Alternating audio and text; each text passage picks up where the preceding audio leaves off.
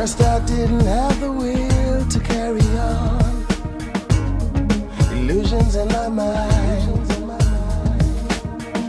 Like that picture when you feel you can't go on. Like you've been left behind.